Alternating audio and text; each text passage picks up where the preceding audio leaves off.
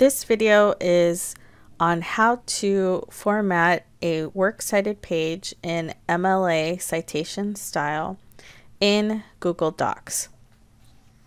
So the first thing I want to start with is I am in my Google Docs and I have a document where I have multiple citations pasted into the doc. The first thing you want to do is name your doc. So this is automatically pulling from the first line of text. So I'm going to just name it test works cited MLA just to give it a title, but you can name it whatever you want, whatever is relevant for you in your assignment. Now, I have copied and pasted several citations from different sources. I have copied from EBSCO database, both from within the database and also from an email that I received from the database. I've also copied from ProQuest database, again, from within the database and also from an email I received from the database. Also from Gale databases, two different ones, Gale in context opposing viewpoints and Gale ebooks or virtual reference library one from the database and one from an email. And then I also uh, obtained a citation from our EBSCO ebook collection right here. And these last two are from, these two right here are from our catalog, our library catalog, which generates citations. And this last citation here is a website citation that I created from a website that I used for my research. So the first thing I want you to notice is that all of these databases or uh, database citations are different. They look different. Some of them have background color associated with them. Some of them are in different fonts from each other, different sizes, and some of them have blue links or hyperlinks with them. So we want to be able to wipe all of this so that we can make it look the way an MLA works cited page is supposed to look. So the first thing I want to do is look at my spacing. So I want you to notice that each of these citations do not have any additional spaces between them. They're all single spaced, except down here. There is an additional space here, and I can tell that because there's a cursor sitting there flashing, indicating there is a line of space there. Same thing here, and same thing here. So I want to delete these spaces. I don't want any additional spaces between my citations. And as I did that, I notice now here uh, there are two spaces in front of this citation. So I'm going to delete those and also two citation two spaces in front of this citation. So I'm going to delete those as well.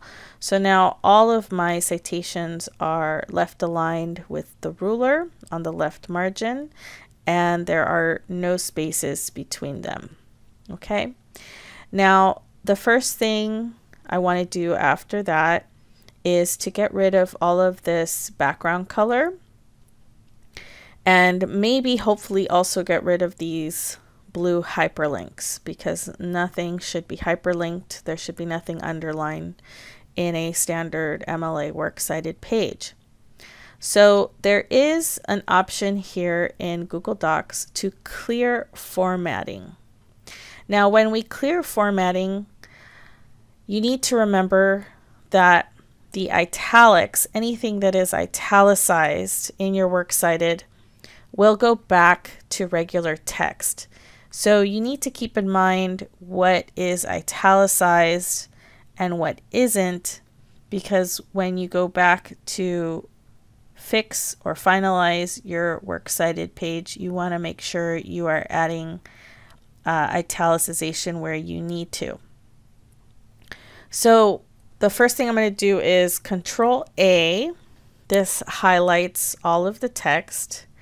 And then I'm going to go up to Format and scroll down here where it says Clear Formatting. There's a shortcut for that as well, which they tell you here. Uh, but I just like to go through the menu options and I'm going to click Clear Formatting. So what that did was it wiped all formatting for the text and it made everything plain text.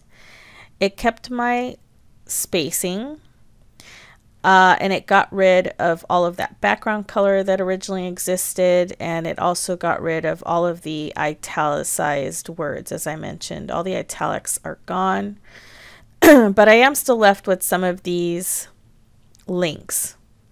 So to get rid of these links you can select the link just by clicking on it. You'll see the link pop up here.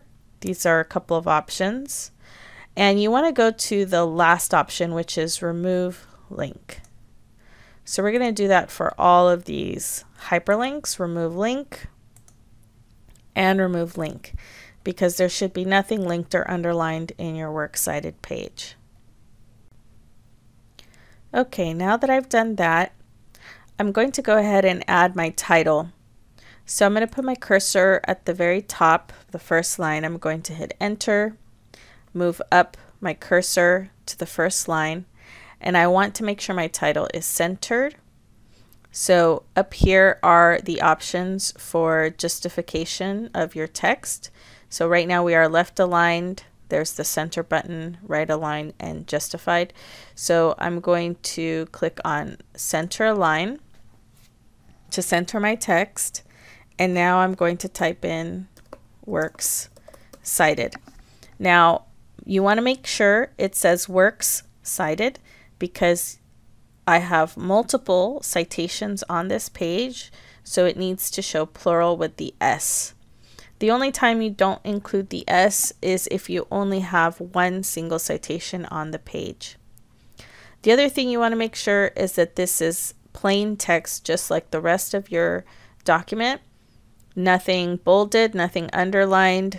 It should not be in all caps, it should not be a different font, and it should not be a different font size. It should look just the way the rest of your text does. So now I have my title. I want to change my font, my font size, and my spacing. So you'll notice in Google Docs, my default is Arial, size 11. And when I cleared formatting, all of my spacing went to 1 when spacing. So I'm going to again select all of my text. I'm going to change my font to Times New Roman.